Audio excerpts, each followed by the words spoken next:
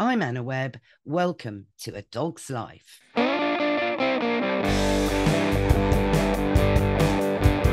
Mr. Binks, you know how mm, how to put this politely, you had them already chopped off when you came to live with us. There's lots of debate now in the world of veterinary science as to whether that really was a good idea or not.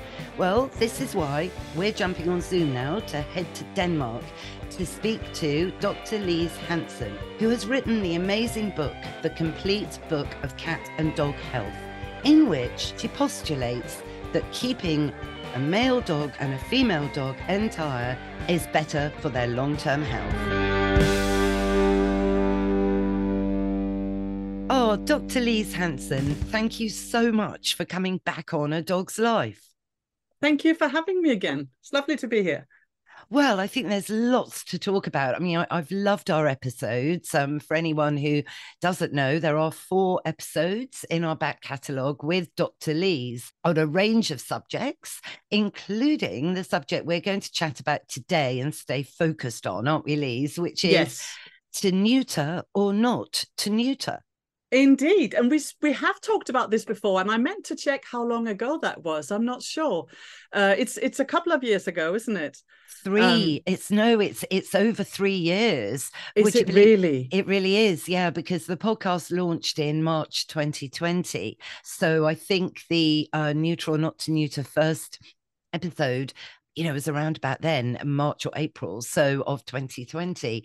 And, you know, in that time, the world of dogs has taken such a change, shall we say, putting it perhaps a bit on the polite side. I mean, dogs have just exploded well the whole world has taken a, a well, I mean it's been a weird three years hasn't it since we talked about this topic before?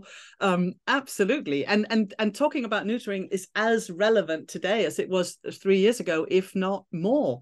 Um I think it's important to say when we talk about neutering, just just to begin with, just to make it really clear that when I talk about neutering, I talk about the health implications for an individual dog. You know, what will what will happen to the health of my dog, male or female, if we neuter or if we don't neuter. I'm not talking about the you know population control. I'm not talking about human humans irresponsible you know i mean there's so much wrong about the way humans interact with dogs in terms of you know puppy farms and filled shelters and and irresponsible breeding etc etc um, but that's that's a separate issue is is all i'm trying to say. I think when we talk about neutering we're talking about um, a dog in the hands of a responsible owner whether whether or not to neuter. If, to be honest if i can be blunt, uh, I would say that if you if you can't manage an entire dog, you probably shouldn't have a dog. You know, neutering is not the answer to humans being um, irresponsible and neglecting their dogs. Um, but I'm just going to assume that you're a responsible owner and you want to do what's best for your individual dog. Absolutely. No, I mean, this is brilliant to clarify that. But, you know, in in having just said that, you know, this um, obsession, I think, to spay or neuter has come from the welfare organizations, you know, yeah. campaigning to stop the, initially the stray dog population, which we used to have in England, but we haven't got it anymore. You know, they've got it in Thailand, but they haven't got it. We haven't got it in England. There's no stray dogs roaming the streets. So I haven't seen any lately. You know, so that's not a reason now to exactly, exactly, exactly. So yeah. So Lise, tell tell me what are the health benefits, if any, to if we just say neutering, but it also means spaying, depending on whether your dog's male or female. Um, are there any health benefits of doing it? The short answer, the overall answer is not really. Um, but there are a lot of risks involved with doing it. Um, but I mean, it's we're, sort of at a point where everything we everything we used to think has turned out not to be correct. So we're at a at a point now we're sort of in a period of transition where everything is changing, which can be really confusing. Um, and the situation is, I mean, we used to think that sex hormones had to do with making babies, you know, and if we weren't going to breed from our dogs, then we might as well neuter them. Um, it made everything easier. Um, and why not? We weren't really aware of any risks. We were aware of a few side effects, but really it boiled down to three things. Um, we knew that neutered dogs could get uh, some some cosmetic change, some coat changes. You know, this sort of uh, unruly, woolly uh, puppy coat, but that was a cosmetic issue um, only. That was one. We knew that many neutered dogs tended to become overweight. And then finally, we knew that about one in five female neutered dogs develop urinary incontinence. But that was really it. And I'm talking in the past tense, but this is this is we don't have to go, I mean, this is five to 10 years ago. This is how this is the what was available to us in terms of information. Um, then there was this watershed article that I keep referring to. I think that, that lots of vets, when talking about this, will keep referring to, uh, which was an article that was published from the University of California in 2013. Uh, which was a complete turning point in our understanding of this topic.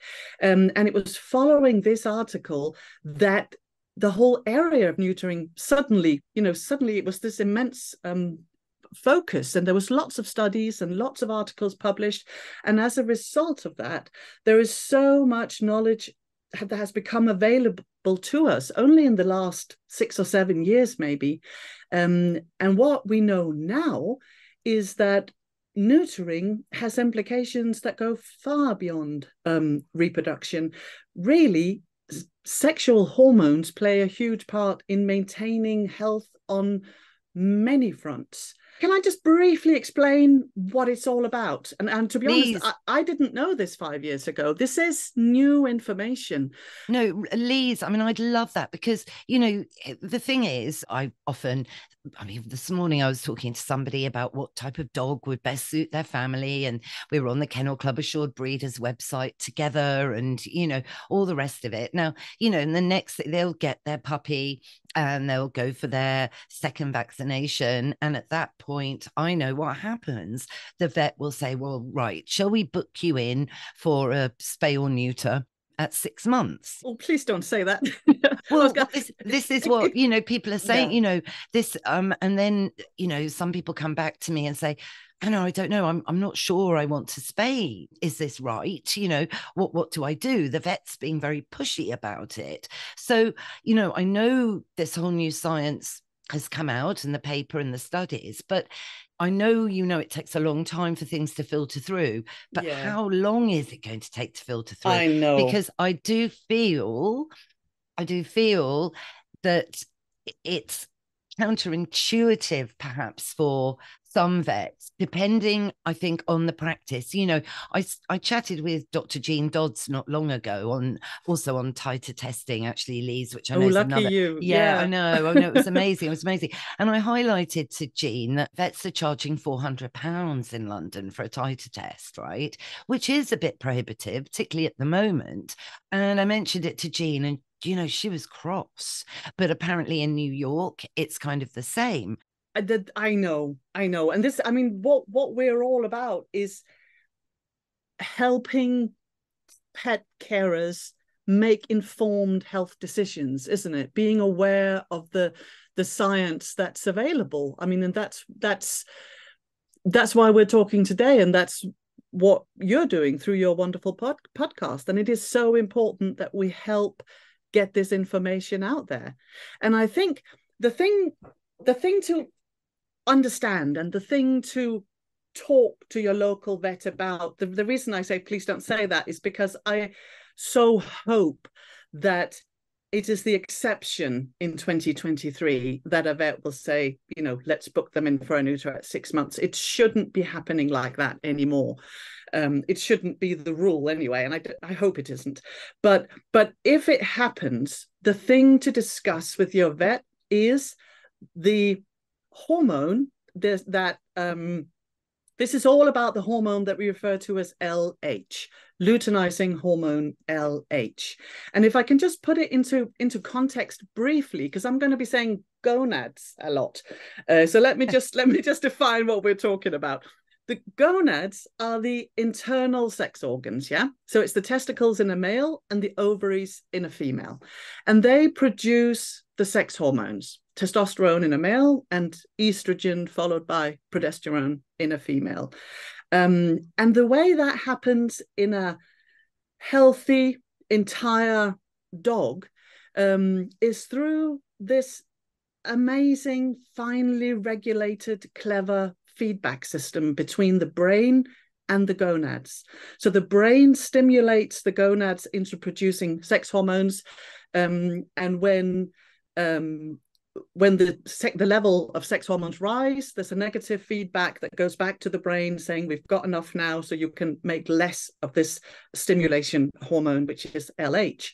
So the pituitary gland in the brain um, releases LH, which then tells the testicles or the ovaries to produce sex hormones. That's the normal system. That's how nature has designed it. When we then neuter an animal, we we surgically remove the gonads. We take away the testicles when we castrate a male dog, and we take away the ovaries, um, sometimes the ovaries and the uterus when we um, neuter a female dog. And when we do that, the feedback system is obviously broken. So the brain doesn't receive that that negative feedback saying we have enough sex hormones now. You don't have to keep producing LH to stimulate the gonads. So the pituitary gland keeps producing LH. And you end up, and this is the case for all neutered uh, animals, you end up with extremely high levels of LH all the time, forever. Uh, and the levels go way beyond the level that they would ever reach in a in a healthy, balanced entire animal, you get uh, LH levels that are 30 times what they would normally ever reach. Um, you could almost say it's like the brain is knocking on the door. You know, it keeps trying to stimulate the gonads into producing sex hormones, uh, but they never will because they're not there anymore. Gosh. And what has what I know, I mean, and and what what we've I say we, I've not discovered anything, I've just studied this. But what scientists have discovered is that there are um, LH receptors all over the body. There's LH receptors in white blood cells, in the skin, in the hair follicles, in the thyroid gland, um, all over the body. Many, many tissues in the body, many different types of tissues in the body have LH receptors. So when you have an individual with 30 times the normal level of LH constantly, forever, for the rest of their life, that starts causing changes in tissues all over the body. Uh, and that's the that's the explanation behind um, the, all this this increased risk of disease that we see in neutered animals. And the consequence of this is that neutered animals have um, a much higher risk of developing cancer, um, developing osteoarthritis, develop, developing ligament disease, uh, typically um, cruciate ligament um, disease in the knees, um, immune mediated diseases, so that's your allergies and your autoimmune disease, diseases, and thyroid disease. Um, thyroid disease, you know, hypothyroidism and underfunctioning thyroid is a very, very common problem in dogs.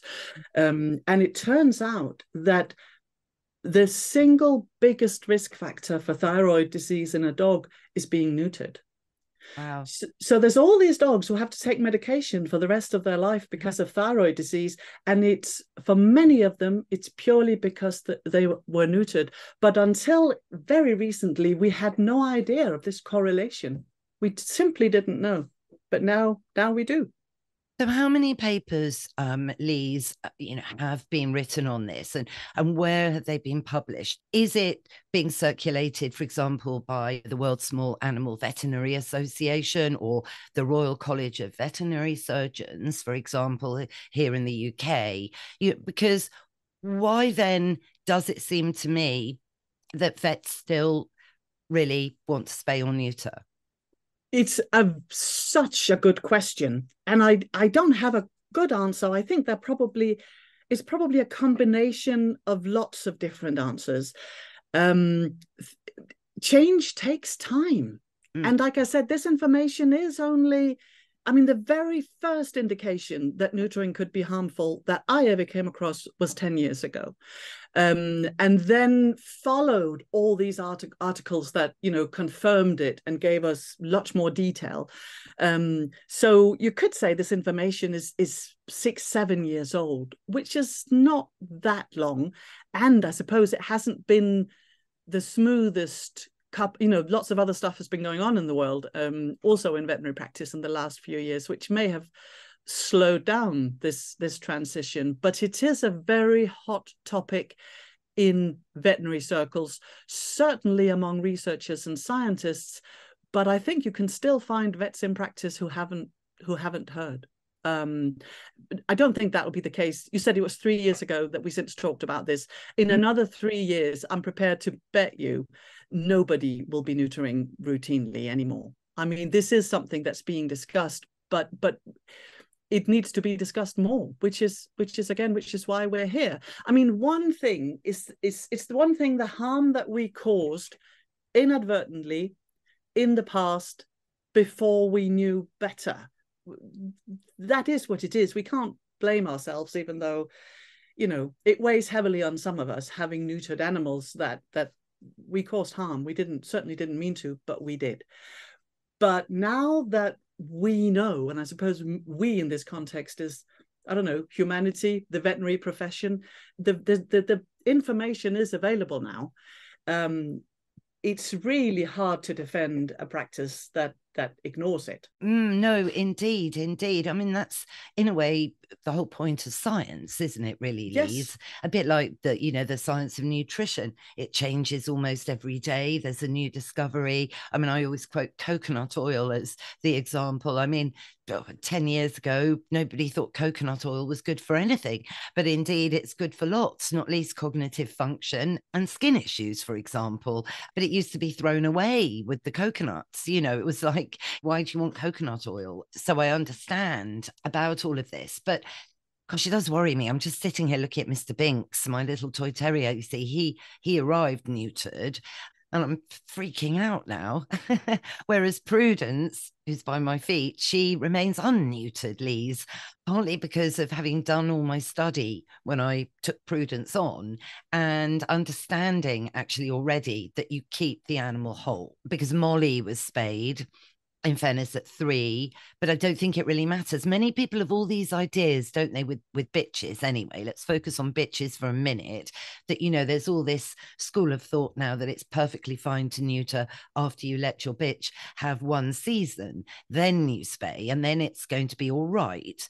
Or some other people say let them have three seasons and then spay and the impact will potentially be less. What do you think of that I think the jury is out um, in terms of we know that i mean when, first of all when we talk about risk it easily becomes very confusing um, when we when we're really if we're interested in one individual. You know you can have a neutered animal that lives a long healthy life and and never get sick with with anything.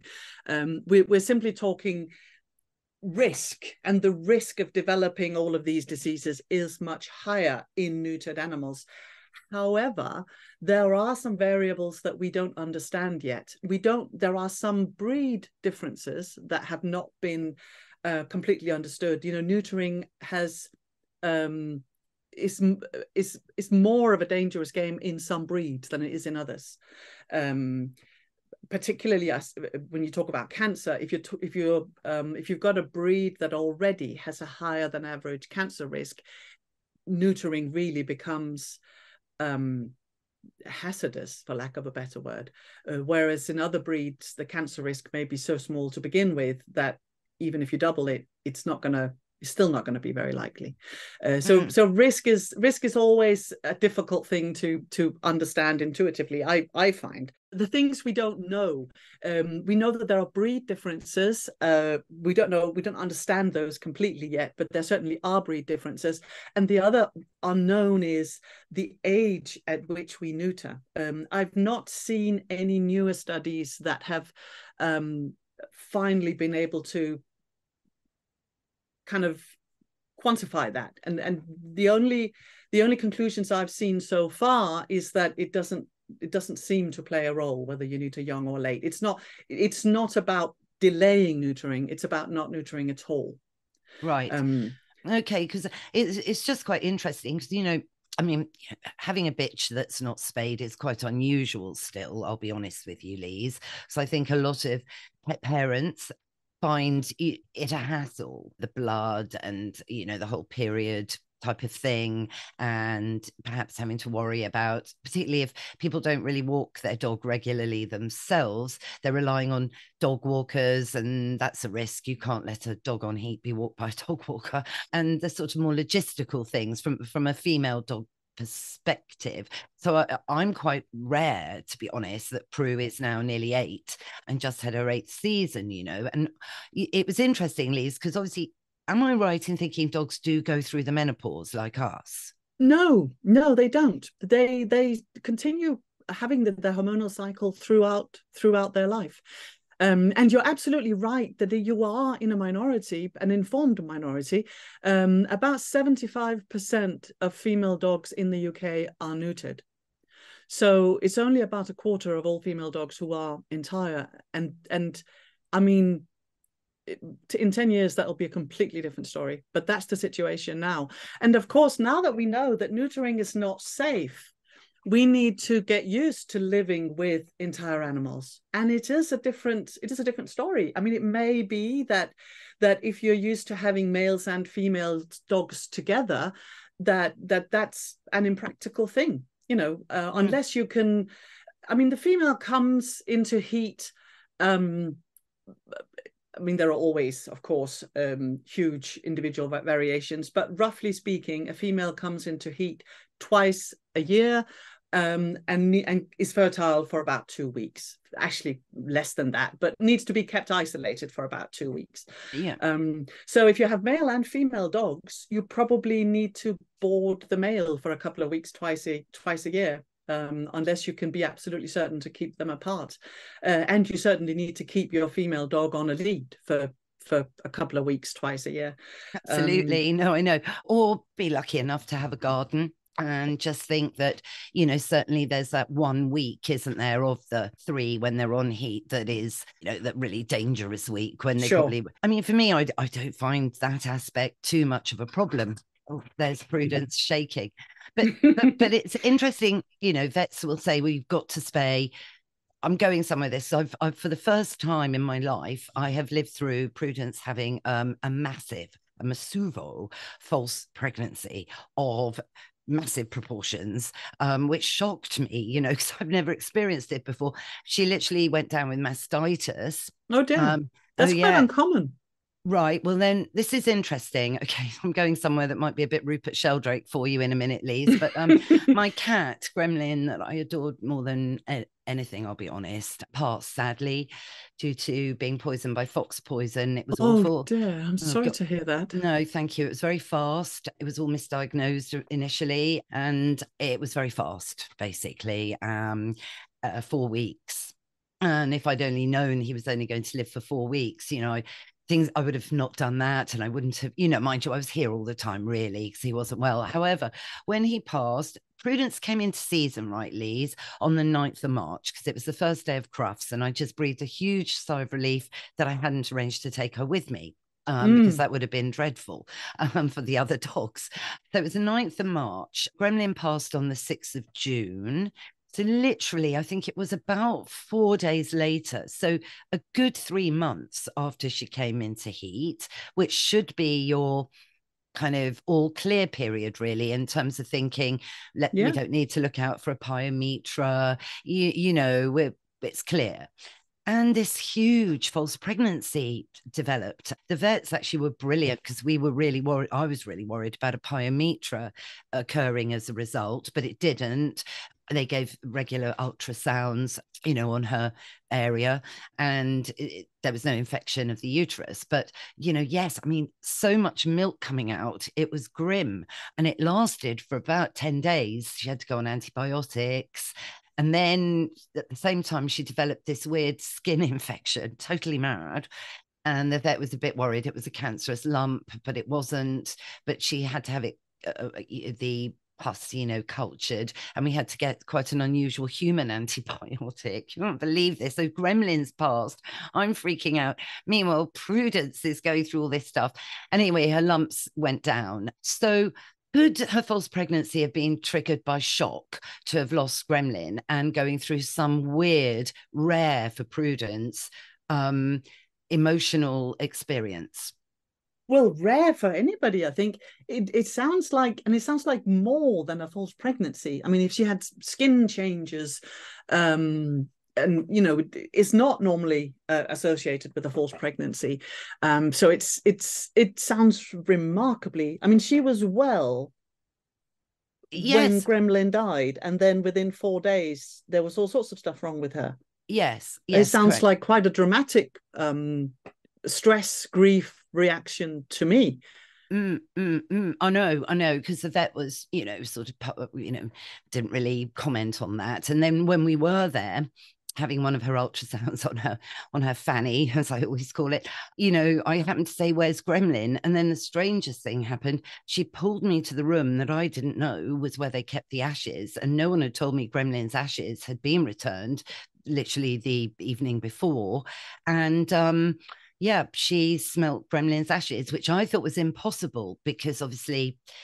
do they smell? Who knows? It's really out out to the jury. But I learned that in Australia in 2018, they trained a team of dogs to find cremains. You know, when all the wildfires wiped out loads of properties and, and humans at the same time, and um, grief-stricken relatives wanted to find some evidence, you know, some memory, and the dogs would find certain ashes. Kind of quite a depressing subject we've moved on to quite quickly. Sorry about this, but it's just fascinating. And and Adam, the vet, who I'm actually really, you know, just massive you know, thanks to Adam Wolf, who's Australian and really good actually um Lise and coped with me extremely well. You know he kind of rolls his eyes when i mention homeopathy but that's fine.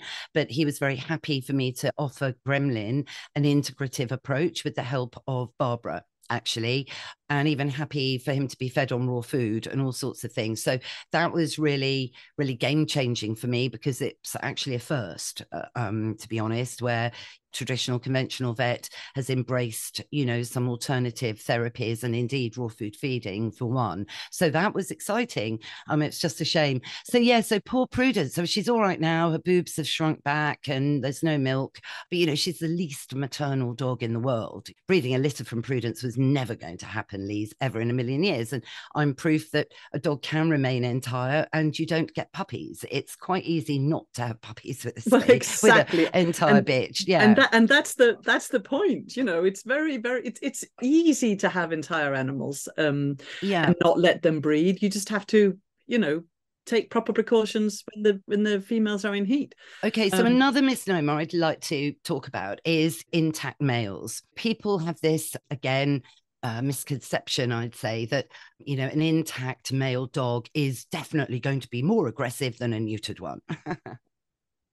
well, I think there's only one uh, situation where that I mean, an intact male, the changes are going to be an intact male is going to be uh, sniffing more, urine marking more. So a walk may happen more slowly. You know, they'll be more interested in in in sniffing and peeing on everything.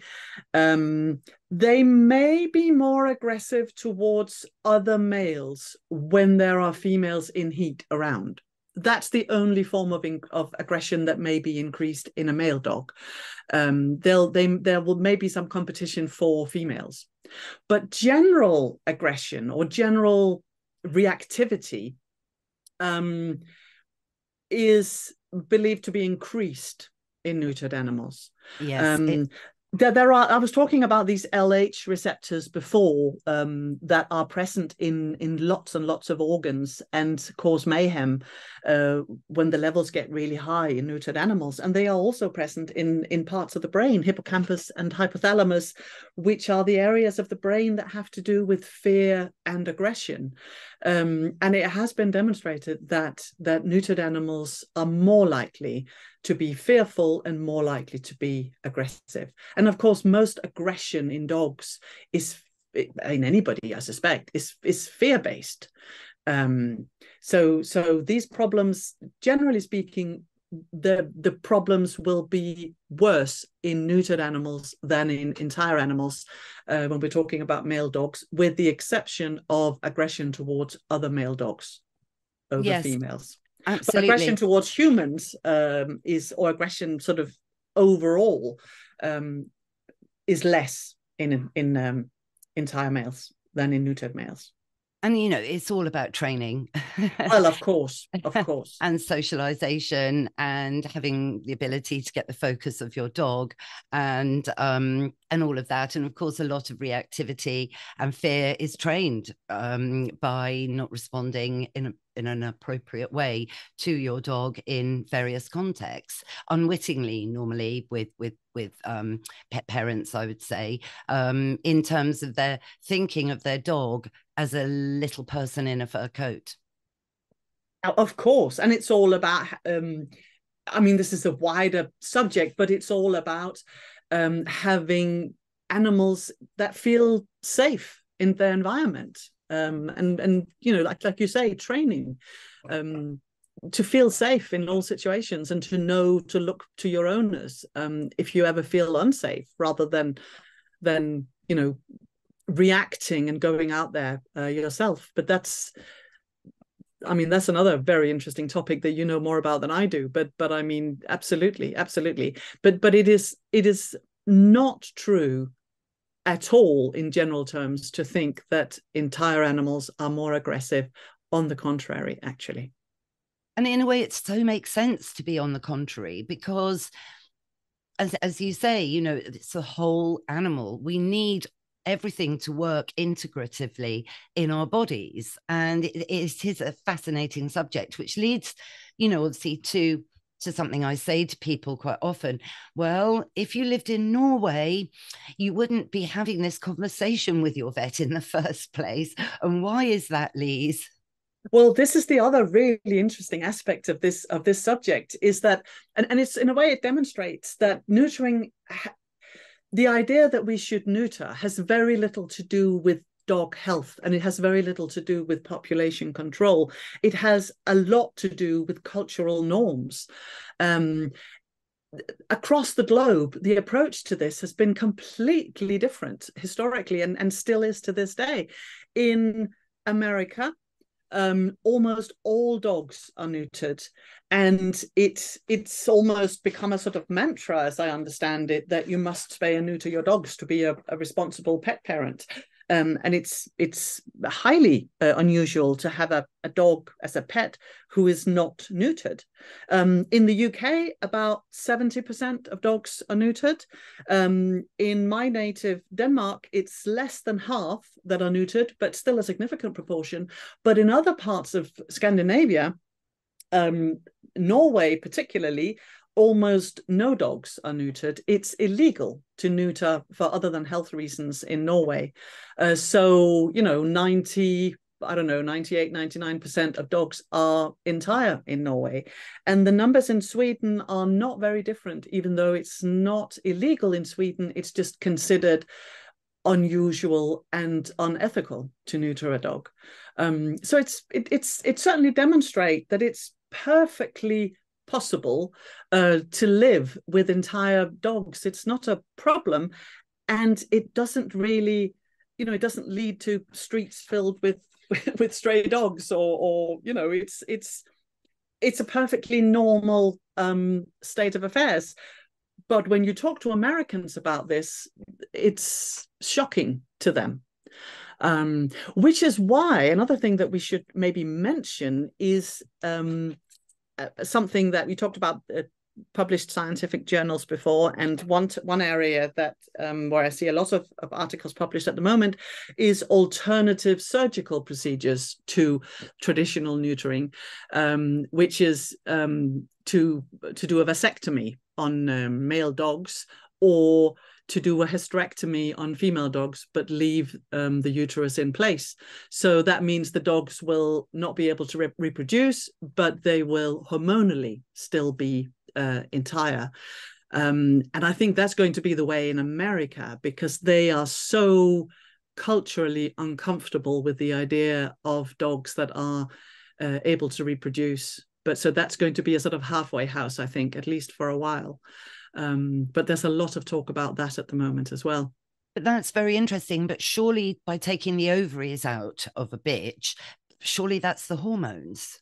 No, they don't. If I said that, I'm sorry. Then I said it wrong. If that's what I said, they take the uterus but leave the home, leave oh, the ovaries. Oh right, okay, right. Oh, they leave the it's, it's, oh. it's it's it's often referred to as the ovary sparing spay.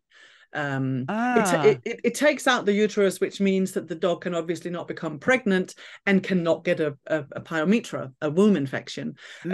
Uh, but hormonally, uh, she's completely entire still.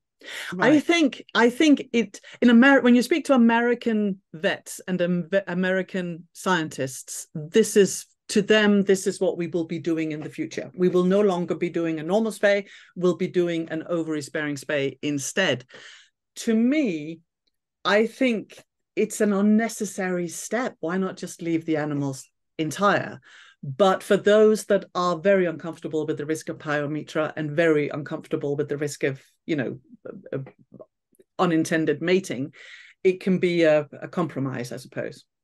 Yes, I mean, you know, I mean, with this very recent Lee's situation with Prudence, you know, I have been thinking, and I said to the vet, you know, should I spay Prudence now?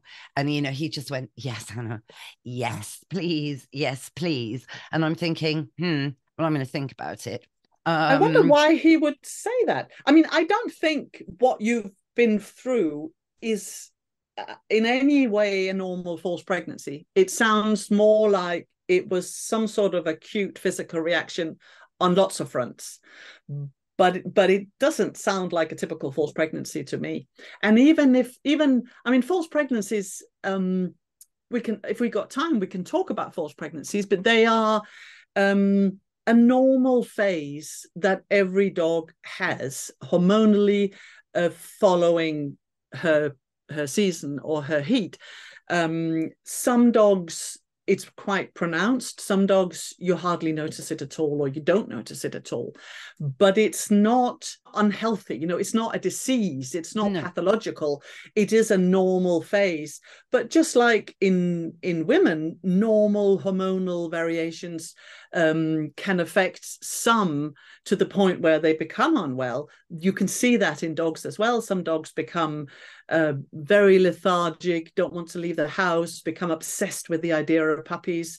Um, and th- there are uh, ways to treat that. I would never neuter a dog, even if um, even if false pregnancies are um, an issue. There are other ways to deal with that. Yes, yes, and it's and it, I think you know. Um, correct me if I'm wrong, Lise. Generally, this false pregnancy phase of the season tends to happen in the second or the month after the initial three weeks. So you know, yeah, uh, yeah, yeah. I know. I mean, this was way after that. Yeah. So yeah. I just, I just, I, I can't figure it out at all. It's rather extraordinary. Or my other thought on it, Lise, and you know, you'll kind of raise your eyebrows now. I think it might have been Gremlin paying Prudence back for being a bit of an idiot um, in the last six months. You know, actually, she's been a bit of an idiot because the power of cats, you know, and their attunement, if you like, to the sixth sense anyway, you know, because then last Saturday I'm rushing because I have to get to the Blondie concert. I'm really excited. So we go out for a walk very early. And guess what happens? Prudence manages suddenly, after eight years of never having a grass seed in her ear, a grass seed penetrates her ear and it's obviously quite bad. Head shaking, freaking out, her eyes have gone red. I'm thinking, I don't believe this. So basically, we get, you know, home. I drive straight to the vet. She has minor ear surgery straight away. It's all fine. And you think, well, why has that happened now? But I probably overthink things, don't I, Lise? Well i don't know about that one but but it is i mean it is true that when you talk about gremlin's death and prudence reacting in that way is that that grief and stress can make us ill. Um mm. it, it, it i don't think there's any doubt about that dogs cats or humans. Yes so i, I think it was a i think it was a, a freak thing you had there rather than a a typical false pregnancy episode for sure Okay, cool. So um, your advice is hold fire, just yeah. keep Prudence as as she is, and no need to spay, even though she's eight. Absolutely, absolutely. And and I mean, I think I think this is that's certainly my advice, but I think it is an important point to make that that this is obviously not my personal opinion we're talking about. I'm just a vet. I'm not someone who's done you know i'm not the, the one of the scientists who's uncovered all of this but there is a, a, a all the papers that are coming out at the moment um, there is a consensus on this. You know this is about high levels of lh causing all sorts of um, disease some of it life threatening and and as a result of that we need to change our ways. Um, what all i'm trying to say is that it's not so much personal opinion. It's really the science is available now. Yes. And and and there is i mean you were saying before how some vets will still recommend the old way. And and i think there is some i don't know i'm searching for words here but i mean i think i think humans are possibly conservative by nature. You know, we are slow to change our ways and we are prone to do things for no other reason than this is what we've always done. Um, and that is is clearly in nobody's interest. I mean, you know, the earth would be flat if if we didn't change our our views according to science. Uh, yes. Uh, we need to adapt new scientific in, information as it is made available to us, and we need to act um, also when we take care of the animals um, that that you know we are in our care. We need to act according to facts and according to the current science, and not according to outdated beliefs that's Indeed. that's that's really yeah. that's really my my point here yes absolutely and i think you know um just to promote well-being and overall natural health i think this is this is the mantra that well certainly i live in my little bubble about this but um, i do think it's becoming more accessible and pet parents who are that way inclined themselves you know are now really transferring their values of diet and you know lifestyle choices to to their pets um, and with good reason. And you know we can do that now because there's so much more choice out there as well you know in terms of foods anyway. And um, you know alternative therapies that well they've been there for a very long time um, but um, they're being talked about more which is great because then that helps change happen Sure, but also I think it's important to to separate this issue from however one feels about alternative therapies because it's not a you know it's not an alternative view. Um, it is where mainstream veterinary science is at at the moment. Um, and and it can be difficult to as a as a lay person wanting to stay informed you know social media etc it, it it's great, but it's also it can be quite overwhelming. And it seems that you know everyone is free to have an opinion about stuff these days. But but if we go to the science if we go to the scientific references um, what it boils down to is that if you take away the sex organs you end up with dangerously high levels of lh which cause all sorts of problems. Um, that's that's what we know about this topic at the moment and i'm sure in another five or ten years we'll we'll we'll be able to you know say more specifically um, about the areas that are still not completely uncovered. But at the moment, what we know is that neutering is not safe the way we thought it was safe only five or 10 years ago. Well, Lise, look, thank you. This is going to be real food for thought, I know, for lots of people. so I really, really appreciate your time to come on and um, talk about this because indeed we've talked more about the subject than three years ago. And I think it's all down to the LH hormone, which I'm just fascinated about. That's interesting, very interesting. Mm. Thank you, Lise. It's a pleasure. It's great to speak to you. Yes, we'll do another one soon too. yes. That's our show, Mr. Binks. What did you think? Oh no, don't go into a bit of a freak out. You're very well and you're 11. And you're right, it is time for Woof of the Week. The interesting thing about science is through time it changes. One of these things now being discussed in the vet profession is whether to neuter or not to neuter. Hope you all enjoyed it. If you did, go on, rate and review the show wherever you tune into your podcasts. Thanks again, of course, to Dr. Lise Hansen for joining us today. And please note that links to the complete book of cat and dog health are all in the show notes. Thanks, of course, to Mike Hanson, my producer, for all the music and production as ever. Also, Mr. Binks? Yes, you're right. We will be back in your feed next Sunday. So why don't you subscribe now? And that way you'll never miss another show. Bye for now.